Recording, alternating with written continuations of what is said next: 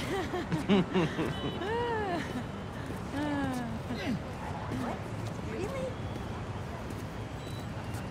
I really need to bring my camera out more.